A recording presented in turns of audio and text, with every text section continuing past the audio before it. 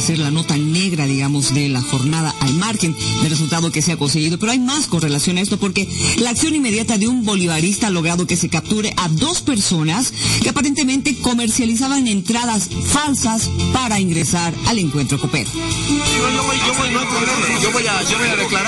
Con la polera del equipo de sus amores en piel, los gritos contenidos por la bronca y el mal sabor de boca al ser víctimas de una estafa.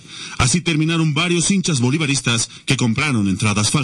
Lo que pasa es que a mi esposo le han vendido dos entradas falsas. Cuando hemos entrado aquí a la puerta nos dice que eran falsas y no, no, nos han dejado entrar y al último han aparecido más personas, más personas. Nos han engañado, pues mire, las entradas. Afortunadamente y por la sagacidad de este hincha, se logró detener a dos personas que aparentemente estarían timando a los desesperados hinchas. Lo he ido a coger mi marido y mire que el señor ahora está agrediendo y hasta le está amenazando.